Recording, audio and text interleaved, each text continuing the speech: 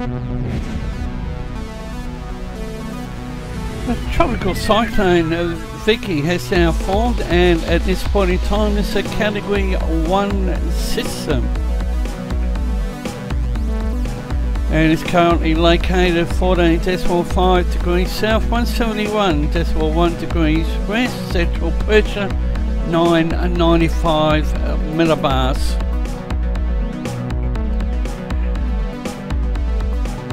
The Vicky is currently tracking east-southeast at about 6 knots, maximum 10 minute average wind speed the centre estimated at about 35 knots, but at the time of uh, doing this update it could be up around 45 knots.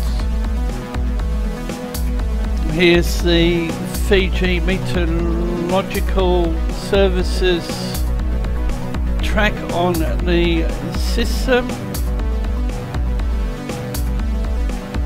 The Joint Typhoon Warning Centre has updated their position and they have it as Tropical Cyclone 17P.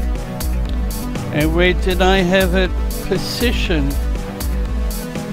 They have it about 47 nautical miles west of Pago Pago, American Samoa, now tracking southeast at 11 knots.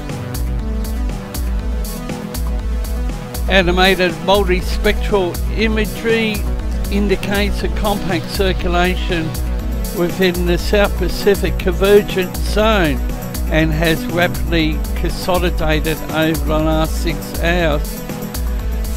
Scatterometry data as the system approached Western Samoa indicates 30 knots and observations at a couple of local airports in the area supported this estimate.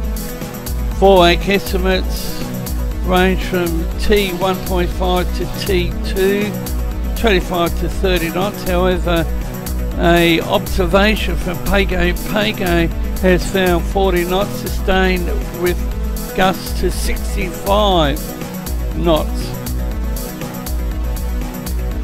However, the FOAC estimate is slightly underrepresenting the actual peak intensity due to the compact nature of the convective core. Therefore, the intensity is now assessed at 45 knots and the cyclone is tracking southeastward along a persistent trough and remains in a favourable environment with, form, with warm 27 to 28 Celsius sea surface temperatures, low 10 to 15 knots vertical wind shear and established poleward outflow. The system is expected to begin a generally south-south-eastward track within 12 hours, becoming southward at the 24 hour mark as the track begins to turn south southwest after 24 hours the cyclone will begin to dissipate over water due to increasing vertical wind shear cooler sea surface temperatures weakening to 35 knots by 36 hours and increasingly unfavourable conditions will lead model solutions depict 17p interacting with 96p within 48 hours or at the 48 hours mark. The combination of potential system interaction and high degree of spread yields low confidence to the Joint Typhoon Warning Centre's forecast. And wave height is 15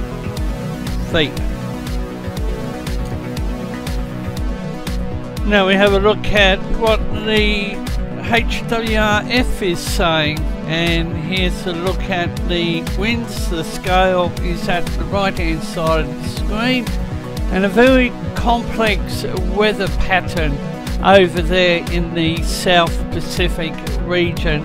The convergence zone, a very active uh, monsoonal trough and this is the rainfall. There is a possibility that the Joint Typhoon Warning Centre might correct their information. Uh, we also have uh, investor 98p to the west northwest of Vicky, and here's a look at a uh, possible track of the system. And as the Joint Typhoon Warning Centre said, the life is not going to be very long. And here's a intensity, and for the uh, Saffir-Simpson hurricane scale, a tropical storm. Uh, however, here's the upper level divergence, wind shear, 850 millibar vorticity and one model on the system. The upper level divergence is very weak, it's probably only about 10 20 knots. Wind shear, quite a bit of area in red which is unfavourable. And one of my favourites is the vorticity and we have invested uh, 98p, we have Vicky, and I think 96p to the south. We will continue to bring the uh, latest information and if you haven't tuned to our AU channel, it would be appreciated. We also have a tropical cyclone developing in the Gulf of Carpentaria and one off the and a low to come on the radar northwest WA and northwest of Broome. So stay tuned. Thank you for watching this production of Force 13. For more information about Force 13, you can check us out on all of our outlets. Our website, force13.com, where we are overhauling the website and writing new articles for your reading pleasure. We're also on YouTube, keyword Force 13. Probably there already, good chance of that. If you are, hit that like and subscribe button to keep getting updates like this one coming to your mailbox. We're also on Facebook, keyword Force 13, where we post our updates, and keep an eye out for our live coverage on there as well. And we're on Twitter, keyword Force 13. And if you want to rock our colors like Nathan Foy here, you can go to our store available at store.force13.com, or you can contribute to the project directly by way of the Patreon. More information about patronage and the privilege you can get from patronage can be found at patreon.com forward slash force13. And you can reach out to us on Skype at force13 or to me directly on Discord at trin extension 1375. Or you can join our server with our new link at discord.gg forward slash force13.